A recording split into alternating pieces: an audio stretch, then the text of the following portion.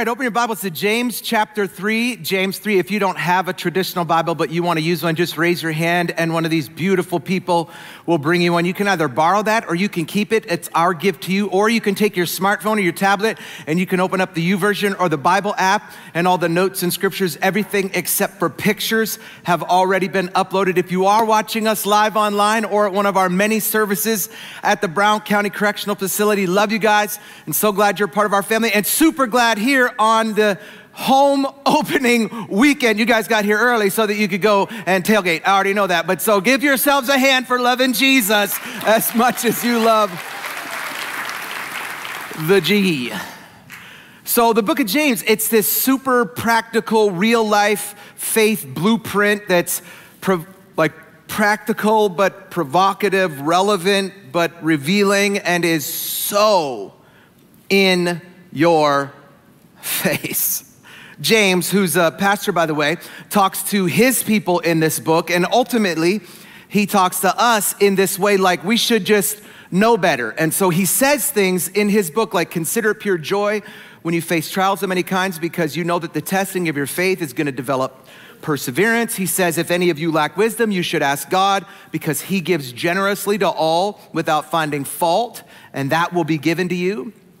He says everyone should be quick to listen, slow to speak, and slow to become angry, for man's anger doesn't bring about the righteous life that God desires for us. He also says, What good is it, my brothers, if a man claims to have faith, but he has no deeds? We talked about this last, last week. He said, Can such a faith save that person? As the body without the spirit is dead, so faith without deeds is dead. And, and when he says these things to James, this is all so common sense. Like he's talking to his friends and ultimately to us, and he's saying, Y'all, listen, times are gonna get tough.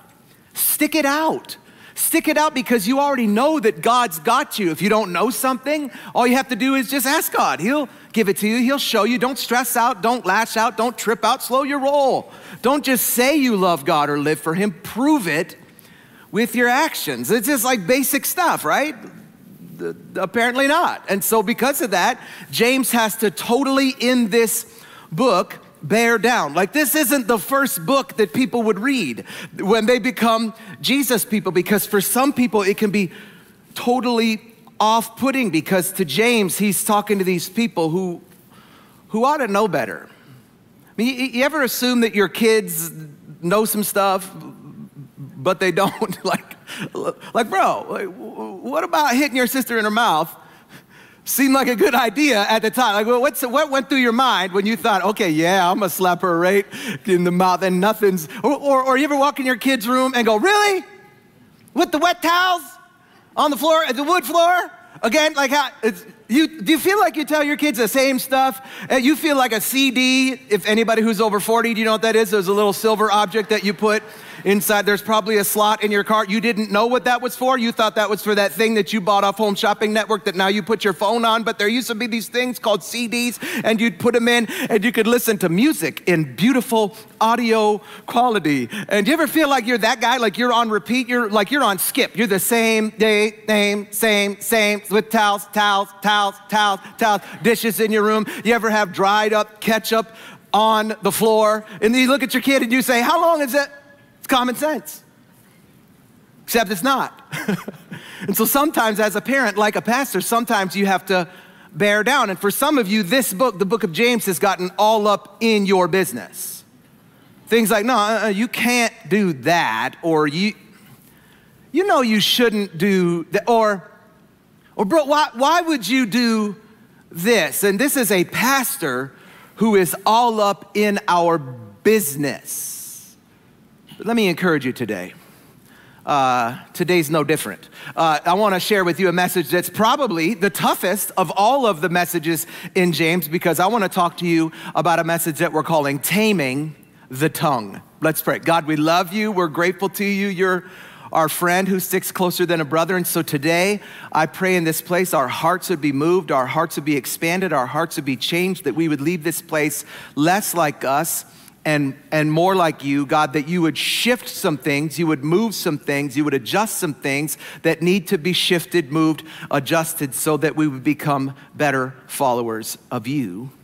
In Jesus' name, amen. James chapter 3, starting in verse 1, it says, Not many of you should become teachers. That's a great encouraging first line to a chapter. Now listen, y'all, no. You, yes. Four of you, no. Not many of you should become teachers, my fellow believers, because you know that we who teach will be judged more strictly. We all stumble in many ways. Anyone who's never at fault in what they say is perfect, able to keep their whole body in check. When we put bits into the mouths of horses to make them obey us, we can turn the entire animal. Or take ships for an example. Although they're so large and are so driven by the strong winds, they're steered by a really small rudder wherever the pilot wants it to go. Likewise, the tongue is a small part of the body, but it makes great boasts. Consider what a great forest is set on fire by such a small spark. The tongue also is a fire, a world of evil among the parts of the body. It corrupts the whole body, sets the whole course of one's life on fire, and is itself set on fire by hell. We're just here to encourage you today. Verse 7 All kinds of animals, birds, reptiles, and sea creatures are being tamed and have been tamed by mankind. But no human being can tame the tongue. It's a restless evil full of deadly poison. With the tongue, we can praise our Lord and Father, and with it, we can curse other humans have been made in God's likeness. Out of the same mouth come praises and come curses. My brothers and sisters, this shouldn't be. Can both fresh water and salt water flow from the same spring? My brothers and sisters, can a fig tree bear olives or a grapevine bear figs? Neither can a salt spring produce fresh water. And so, in these 12 verses, James, the great pastor, he just lays it out. And this right here is the longest discourse in the Bible about the tongue. And actually, James details this topic over and over and over again. 14 times, James talks about the tongue, and he's laying out how our tongue can get us into trouble. How often have we said things that we wished we could get back? The minute that you said it, you're like, oh man, I. I shouldn't have said that. How many words that you've spoken have you, have you tried to grab those mugs from midair and it comes like, ah! You just try to, oh, if I could just, if I could just put that back in, in my, maybe my marriage would, maybe my kids would be, maybe my career would be, if I would just, you ever meet people who that they just want to be right? They would be far more successful if they could just be teachable, but instead they are insistent upon being right. And so everything that comes into their mind comes out of their mouth. But I love what David wrote in the 141st Psalm. He said, Help me, Lord, to keep my mouth shut and my lips sealed. I think this needs to become my life verse. This needs to be the one that if you got a tattoo, for all you church people who grew up they told you you couldn't drink or chew or run around what girls would do or get a tattoo. You ever had a person tell you, oh my gosh, you got a tattoo, you can't go to heaven now? I thought, that's it, that's the thing, that's the one thing. I mean, it's a cross and it's John 3.16. But if you're gonna get a tattoo, this is the one. Help me, Lord, to keep my mouth shut. This should be somebody's wedding verse.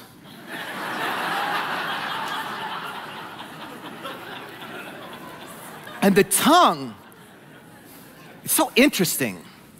For example, did you know that the chameleon's tongue is twice the size of its body?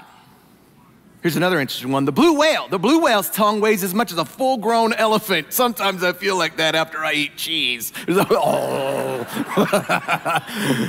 oh. Even though he's got that big old tongue, the whales don't swim around talking no smack. They don't like go by the elephant, the, the dolphin, talking about your mama. They don't say, not, I think they're quiet. And if they say things, they say, this, doesn't it seem like a blue whale is just kind? There's something about him. He doesn't bully people. He just swims around just being big. That's, that's all he does. Then our tongue, our tongue, yours and mine, weighs just a few ounces. Mm. But man, it gets us in trouble. Here's another interesting fact. Did you know that the woman's tongue on average is an inch shorter than a man's? I read that. I said, I don't know about all that. That's the, the, the, the devil is a liar. That guy must have, he must have been single. The guy who just, he, he was, uh, he doesn't know. He lives in a cabin in North Carolina somewhere, the guy who wrote that. Uh, maybe y'all just wore it down. Is all it just, you just,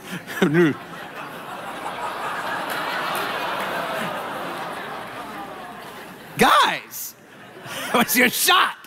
You're like, hey man. And if C. Elvis, you go, bro, it's the pastor. It's, it's gotta be, it's probably in the book somewhere. He doesn't just make stuff up. Let's just, before I get ganked, let me give you a couple of uh, facts about the tongue. We're gonna call them true tongue facts. Here's the first The tongue is small, but is disproportionately powerful. It is so small, yet it has so much power. It has so much control over our lives. It is the great influencer. It has so much power, so much control over our homes and over our marriages, over our children and over our careers. It has so much power and control over our lives and over the lives of everyone around us. The tongue, it is small, but it is disproportionately powerful. Here, here's a second tongue fact that James gives us is that the tongue is a bridle. Now, when, when you watch the Kentucky Derby, which, which some of you probably watch that. I mean, watching the Kentucky Derby is like watching golf, but some people you get desperate. They ain't no football on, and so the horses is running, and you know you're a gambler anyway, and so you well you already got a tattoo, so you, you may as well gamble. And so uh, you watch the horses. That's as my grandpa used to call. I'm gonna go watch the horses. I didn't know what that meant, but then the Kentucky Derby came on, and I discovered that the horse is pure power. It's uh, a thousand pounds, ready to go, y'all, sleek and shiny riddled and rippled with muscles. Basically, is the animal version of me. That's all I'm saying. Just think about thousand pounds. that's it. That's how I feel when I eat cheese. Just get like thousand pounds, pure power. Yet this little hundred pound jockey sits on top, completely able to control it. And he has that control because he's holding on to the reins, which are attached to this little five inch piece of metal in the horse's mouth called a bit. And that bit directs the horse's every motion and move. And regardless of how much power that horse possesses, it is directed and controlled by something so small. Did you know that there is power in your words? Power that is both positive and power that is also negative that we can change the tone of a room one way or the other with our tongue. We can change the tone of a room when we come in and we say, I love you, I believe in you. You mean the world to me. Oh, girl, you look so good. Did you just get your hair done? Oh, man, your hair looks. Have you lost weight? That's the best one. First of all, lead with that one at all times. Because even if they've gained weight, they go, well, you know, I've been, been eating no carbs, you know, I've been on Atkins diet, so it's been two days, probably, but these pants are so big, you don't even understand. Have you lost weight? You can change the whole tone of a room, a workplace, a school, your marriage with those words. Or you can change the tone of those things when you come in and say, you make me sick. You are so stupid. I wish you were never born. Get out my face. I never want to see you again. Don't you ever call me again. I want a divorce. I don't love you anymore. See how, how you can change an atmosphere with this thing that weighs just a few ounces. And James is telling us that the tongue, it is powerful, it is a bridle. But he also tells us that the tongue, it is a rudder. Now, I went on a cruise this summer. It was all right. It was cool. It was a boat. It was uh, a lot of food in Jesus' name. That's if you want if you want to get heavy. You know, I gained 32 pounds this summer. Thank you, Carnival Cruise Line. It was just it, it, was awesome. It was awesome because I was trapped with my family and they couldn't go anywhere for a few days. It was beautiful. Got to see some beautiful places. But I wouldn't like say I'm a cruise guy. My uh, my brother-in-law and sister-in-law, they're cruise people. In the industry, they call those people cruisers. My brother-in-law says they're cruisers. They, they got the cruise points. They got the status. They, they may take a last-minute cruise. We say, where are we going to cruise to today? I'm not much of a cruise guy because I saw the movie Titanic. I'm just saying. I'm not trying to throw my blue diamond overboard for nobody. I'm just, Jack, I love you. I'm not, I'm, I've been to the place where the Titanic was built, and it's totally fascinating to see how enormous this ship was. At 800 and 82 feet 9 inches long, 92 feet 6 inches wide, 175 feet tall, 52,310 tons. Yet it was steered by a rudder that was only 15 feet long. And that little rudder forced change upon the ship. That, that little 15 foot rudder determined the course of all 52,310 tons and all 3,327 people who trusted their lives to 15 feet of direction. James is saying not only is the tongue powerful, but it is also directional. Here, here's the fourth thing that James says about the tongue is that the tongue, it is a spark. We see the results of this simple truth on the news all the time. It seems like half the state of California is always on fire. California is always on fire, and Florida is always getting hit by a hurricane. All we have to worry about is cheese. So, like, we're, we're, we're fine in the middle here. There, there was just this little spark. Somebody went camping, they, they didn't put the fire out properly, or they, or they sparked something and it flew off in the woods and they, they didn't realize. It started as just, just a little spark, and now it's a fire that's burning out of control. A few years ago, on the news, they talked about a fire that burned out 200,000 acres. That's 312 square miles. That's, that's more than the land mass of Green Bay, Madison, and Milwaukee combined. A forest that took hundreds of years to grow was all of a sudden gone, consumed, totally annihilated by one tiny little spark. And you know what? It's going to take hundreds of years for it to grow back, if it ever does. And that's what our words are like. We could say something that for us is just a passing comment, just, just, a, just a little phrase, just, just a little, a little dig, just, just our opinion. To us, it's, it's just a flicker. But it can ignite a fire that produces total annihilation, total consumption, total ruin in the lives of the people you speak them to. The tongue, it is powerful, it is directional, and it is combustible. and it has been a problem since the day we were born. I did not never have to teach my kids to say no. It just came so natural. Pick it. No, kids say no like their lives are dependent. They're saying no like it is oxygen to their lungs. So the kids can be quiet and just cute. Say mama, mama, mama. No! You go, whoa, like this a grown man just came into the nobody ever had to teach their kids how to say no. Kids just naturally say no. And it's amazing how naturally we continue that. How we can so naturally cut each other, totally carve each other up. We're like a Ginsu knife with our words in and, and out of itself. The tongue is pure, unadulterated evil. It is totally twisted. It can say, I love you, and then in the very next breath say, I hate you. With it, scripture says we can bless and we can curse. We can help and we can hurt. You can wake up in the best mood in the morning. You ever wake up in a good mood? Talk to, hey, hey, yeah, 71 degrees outside today, and it's December. Hallelujah in Jesus' name. We went to Chicago one time. We brought all of our stuff. It was the middle of January. We got to Chicago. It was 56 degrees. I was like, yay! You wake up that day like you just won the lotto. You're so excited. You ever wake up in like a really great mood and have somebody just make one comment and that comment can be like a manhole? It is dark and it is deep and you will fall into its blackness. Hey, hey, uh, Hey, Jack, I just, uh, just, just, real quick before, before you go into that meeting, I just, I just want to tell you what Jimmy said about you. Uh, he said you was ugly, and you said, what? it's like, what? Where's he at? Where is Jimmy? Because this is about to get twisted in here. Yeah, you was happy, you were kind, you were ready for the day, and somebody could just say one thing, and it totally derails you because the tongue, it is powerful, it is directional, it is combustible, and in our own strength, it is untamable. So that is all the bad news. That when you go through James chapter 3, you wrap it up. I wish I could just end it right there and you go, wah, wah, wah, wah. And you'd be encouraged by the gate. It'd be great. But fortunately for you, God's not like me. He never leaves us hanging. And, and uh, you may not be able to tame the tongue, but God can.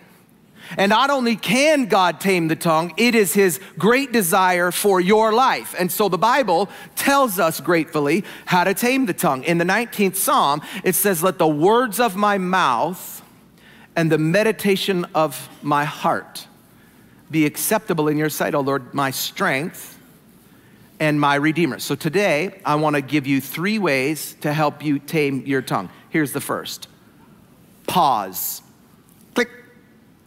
Pause. Back in James 1, he says, My beloved brethren, let every man be swift to hear, slow to speak, and slow to wrath. That is the cure to your anger problem. Some of us, we, we, we struggle. We, we don't want to struggle. Some of us, we, we want to live our lives with benevolence. But for some of us, we, we, we struggle with this idea of vengeance. And so sometimes you, you, it's not acceptable, like when you were in first grade, to put your hands on people. Uh, so now we use our words as weapons. But James says, click it, click, just pause, just hold up, slow down, hold your tongue, pause. We're listening to a little recording, my kids and I, on the way to school this week. Uh, three parts in the daily devotional about how to control your anger. Every other thing in the book is one part. That was a three day study on how to control your anger. And, and one of them was when in anger, count to 10 before you talk.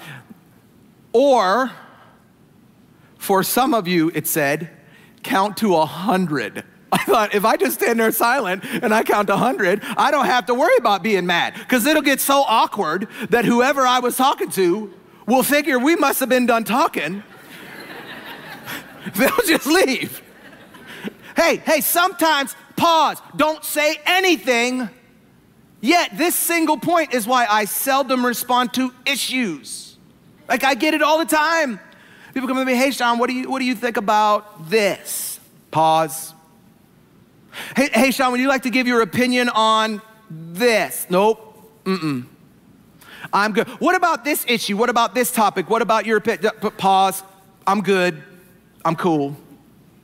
Why? You don't have an opinion on those things? I get that question all the time. How come you don't talk about things that are going on in the news? How come you don't talk about issues that culture is going through? Don't you have an opinion on that? Oh, I got some opinions. trust, trust me on that. I have, I have opinions on all of those things. It's just when I share them quickly, they generally are stupid. What I've learned is that you will seldom get in trouble for the words you don't say. Pause. Here's the second way to tame your tongue is ponder ponder. You, you don't have to spit out everything that comes into your mind. You don't have to regurgitate everything you think. And so, my prayer is God, help me to think before I speak. You, you, you ever seen a, a tongue scraper? I, I brought this. I, this, this is new, by the way. You, this isn't something you want to buy used. This, you, don't, you don't go on Craigslist and, and buy this. Do I have a guy say, yeah, it didn't really work for me. It's still, my tongue is still funky. And so uh, th- these are nasty. A, brand new, these are gross. Uh, used, they're extra gross. Uh, but a few years ago, my, my best friend and I, uh, we travel and uh, speak at things together periodically. And when we go, uh, we, we like to share a hotel room just because we laugh and cut up and we don't get any sleep. We're like, you know, two 10 year olds at a slumber party. And so we watch movies and, and are irresponsible. And except he's very hygienic. And so uh, he, he was getting ready to leave one day and uh, he's in the bathroom like this. I'm not going to do it because then next service I won't be able to say this is new. So, uh, uh, uh, I, do that. Yeah. and I, I, looked this, I looked in, it's like all this funk was like funk. It was like he was shoveling snow. It was like so disgusting. Like, ah. and I, I walked by. I've never looked at him with disdain ever. He, I loved him. I walked by like I was disappointed. I was, I looked at him with disgust in my, I said, what, what are you doing? He goes, oh, bro, I'm scraping my tongue. You need to get you one of these. I said, mm, I'll keep the funk right where it is. Thank you very much. But, but as gross as that is, uh, when you and I think before we speak, it scrapes away the words that we shouldn't be speaking. Let, let, me show you a practical way to think before you speak. Just a little series of questions that you can ask yourself before you before you open your mouth. Ask yourself number one, is it true? Is it, and I'm not talking about is it kind of true? In Club 252, my kids learned that a half truth is a whole lie. Some of you love to live your lives right on the edge, like one foot is on truth and one foot is on exaggeration. You know, exaggeration's a lie. You know, when you expand things, puff things up, that's a lie. And so ask yourself before you even say something, is this true? Here's the second ask yourself, is it helpful? Like, is, is what I'm about to say gonna make the situation better or is it gonna make it worse? Is it helpful or is it hurtful? You know, our words are like elevators, they're either taking people up or they're taking people down. Before you speak, ask yourself, is what I'm about to say helpful? Third, ask yourself, is it inspiring? Like, like, do these words make people want to be better? Do they make people want to be more like Jesus or less, less like Jesus? Do, do my words make people want to move forward or are they going to make them move backwards? Are my words loading up or are they lifting off? Are they inspiring? Next, ask yourself, is it necessary? Do, do, I, do I need to say this? You, you have the right to remain silent. Anything you say can and will be held you everywhere, especially on social media. Oh my gosh, some of y'all need to stop posting some of the things that you post because it's gonna come back. They're going to, it's, as Vince Vaughn would say, it's instantaneously out on the line. People are going to see that thing uh, forever. So, so ask yourself is it true? Is it helpful? Is it inspiring? Is it necessary? And finally, is it kind? Is this gonna make somebody feel encouraged? Is, is this gonna make somebody feel edified? Is it, is it, is it kind? You, you know, you generally get back what you give out. And so if I want people to be kind to me, then I have to be kind to them. Think. True, helpful, inspiring, necessary kind. Think before you speak, ponder your words. Here's a third way to help tame your tongue is pray. Matthew 12, 34 says, Out of the abundance of the heart, the mouth speaks. And prayer is a matter of the heart. You know, what's down in the well always comes up in the bucket. Whatever's down in your heart inevitably is going to come up out in your mouth. But Philippians 4 says, Finally, brethren, whatever things are true, whatever things are noble, whatever things are just, whatever things are pure, whatever things are lovely, whatever things are of good report, if there is any virtue and if there is anything praise worthy, meditate, think on these things. Meditate on these things, which comes back to the 19th Psalm. That God, please may the words of my mouth and the meditations of my heart be acceptable in your sight.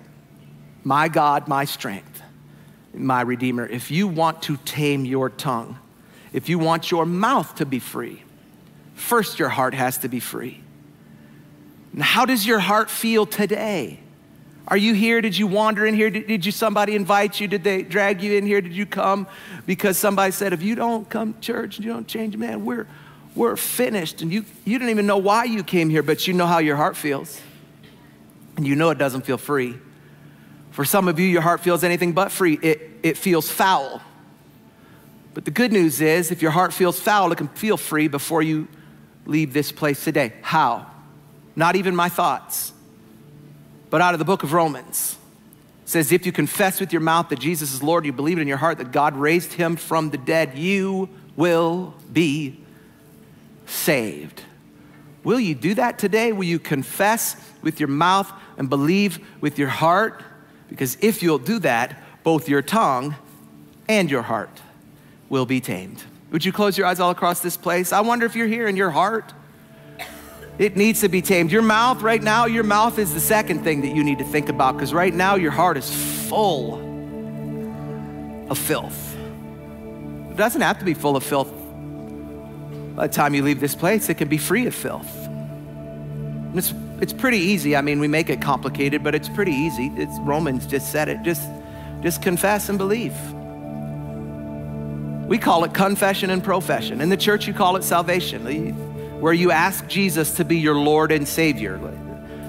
Sometimes that's churchy, sometimes that's difficult to understand. But when you ask somebody to be your Lord, that just means that you give them control, you give them the authority. And some of you need to give away the authority because it's not working for you. When you ask somebody to be your Savior, that just means that you acknowledge that you can't rescue yourself. You need somebody else to rescue you. And so I wonder if you're here today and you say, Shawn, I need to be rescued.